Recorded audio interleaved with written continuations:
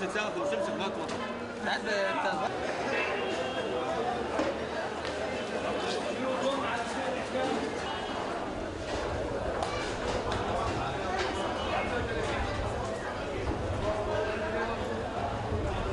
بعد انتشار آه، مرض الحمى القلاعية في آه، الماشية لجأ كثير من المصريين إلى البدائل بدائل البروتين خاصة الأسماك وهو ما أدى إلى ارتفاع كبير في أسعار الأسماك والدواجن. نحن الآن في آه، أحد أسواق الأسماك في منطقة المنيب. نحاول آه، معرفة التداعيات المترتبة على انتشار مرض الحمى القلاعية في الماشية وانعكاسه على أسعار الأسماك. آه، أسأل حضرتك يعني هل هناك يعني حركة كبيرة في سوق الأسماك خلال الأيام اللي فاتت ولا لا؟ هي الحركة كبيرة بس سيادتك يعني هي برضو ال- ال- الأسعار اللي ارتفعت دي مرة واحدة عملت دروب جامد في الأسعار برضو في الجو برضو هابط شوية. يعني أنت شايف إن آه، الناس دلوقتي بتلجأ للأسماك بعد انتشار الحمى القلاعية ولا لا؟ هي بت- ابتدت ابتدت السمك لل- للناس للسمك بس إيه هي ال- البضاعة غالية غالية البولت ارتفع جامد وده ارتفع جامد وكل حاجة ارتفعت عن سعرها شكرا آه، أسأل حضرتك يا حاجة آه، أنت الآن في سوق الأسماك ليه أنت جاية للأسماك؟ هل آه، آه، أنت دايما آه، تحب تناول الأسماك ولا بسبب مرض الحمى القلاعية لجأت للأسماك؟ والله هو طبيعي الأسماك بطبيعتها فايدة كالسيوم فوسفور آه. فشيء طبيعي إنها بتفيد يعني يمكن دلوقتي بنسمع برضو ال- الفراخ ممكن يكون ما أعرفش العلب بتاعها ما أعرفش مثلا ما أعرفش إيه لكن الاسماك على المدى الطويل عارفين إن هي طبيعتها إنها بتكون آه، أكلها طيب يعني مؤمن أو أو نامل له نامل له على قدر كده يعني يعني أنت شايف إن السمك هو الملاذ الآمن للمستهلك آه، في ظل مثلا آه، انتشار بعض الأمراض؟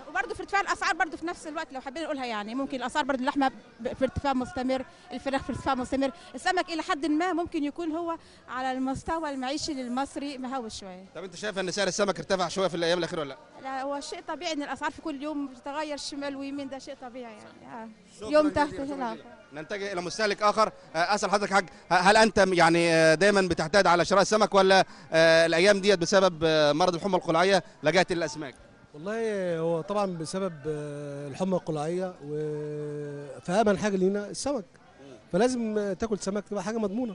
على الأقل السمك ما فيهوش أمراض وعمره ما بيحمل أي مرض ولا أي حاجة غير ال- الفراخ غير الطيور غير ال- اللحوم كلها بأنواعها. فالفتره اللي جاية دي كلها تلاقي معظم الناس نازلة للسمك لأن هو أفضل حاجة في السوق. طب انت شايف الأسعار الحالية بتاع الأسماك؟ آه، هل هل حصل فيها تغير بعد آه، مرض الحمى القلاعيه ولا الأسعار ديت أسعار يعني كانت موجودة قبل أسبوعين مثلا؟ لا والله هي الأسعار طبعا ارتفعت بعد موضوع الحمى القلاعيه ارتفعت سعر السمك بكفاته. يعني حتى الأسماك اللي كانت بتيجي مستوردة ما عادش فيها سمك بيجي مستورد بينزل الاسواق فاضطر ارتفاع أسواق البلطي بتوصل لنهارده 16 جنيه و18 جنيه. بتسمع أسعار طبعا متفاوتة جدا. ده بسبب حتة تصدير عدم آه، وجود تصدير من الخارج جاي من خارج مصر. فطبعا ده عمل مشكلة في بالنسبة لأسواق السمك فارتفعت معظم اسعار الأسماك. شكرا جزيلا. ننتقل إلى أحد يعني التجار الكبار هنا في سوق منطقة المنيب لنرصد معه أسعار الأسماك. آه، معلك معلم رجب أسألك يا ريت يعني آه، أكيد أنت يعني كتاجر أسماك أكيد حصل تغير في أسعار الأسماك خلال الأيام الأخيرة. نعم. الأسعار الأسماك اليومين اللي فاتوا كان في نوى في البحر. ومن الساعة دول اثروا على الزريعه في المزارع نفسها. الزريعه كلها ماتت في قلب في قلب المزارع. طبعا قلت السمك خلت السمك بقى قليل. وفي نفس الوقت برضه بيصدروا السمك بره. المفروض ال- في الجو اللي إحنا فيه ده ما يصدروش سمك.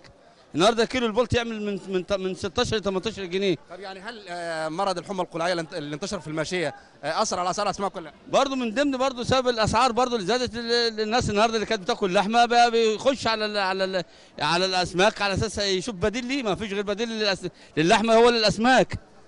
أما طب حضرتك يعني يا ريت يعني ترصد لنا أسعار الأسماك آه، الموجودة لديك يعني من هنا ال- الجمبري وال الجمبري هنا يعمل 85 جنيه حضرتك.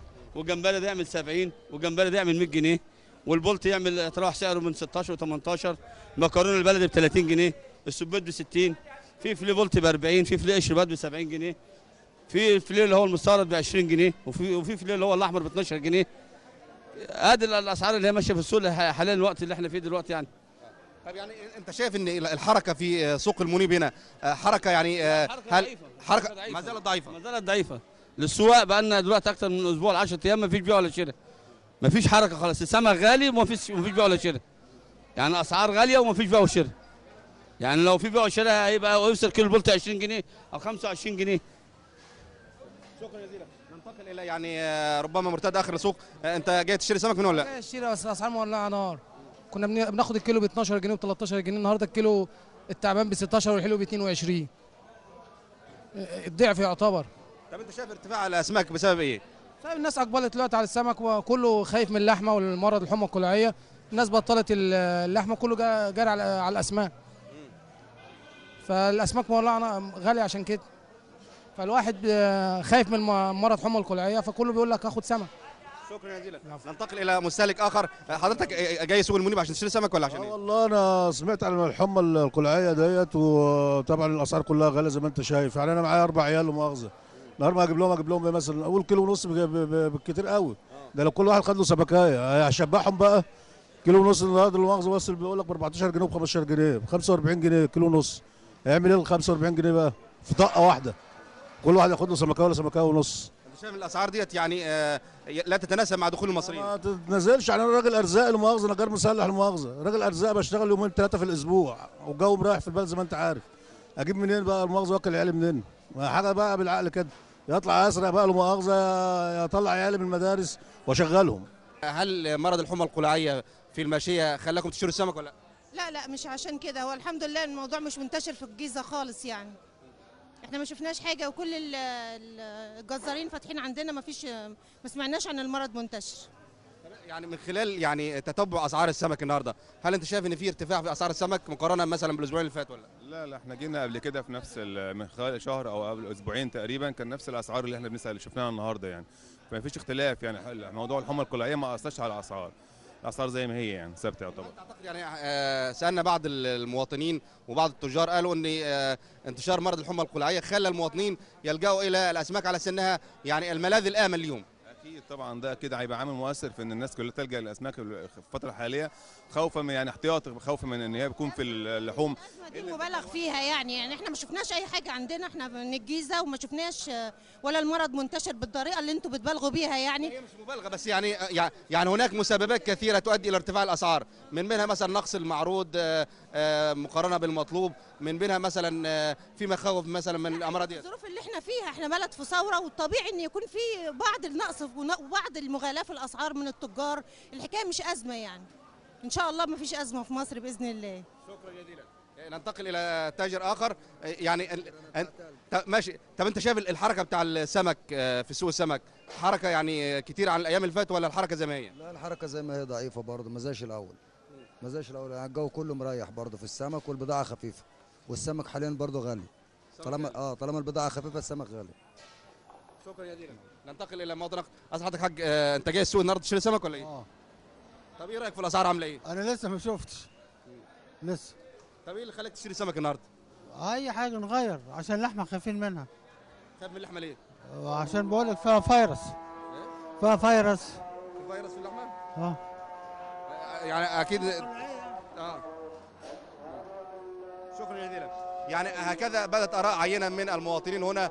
في أحد أسواق السمك في منطقة آه، المنيب وانعكاسات مرض الحمى القلعيه في الماشيه على أسعار السمك كأحد آه، البدائل بعد عزوف المصريين عن تناول اللحوم.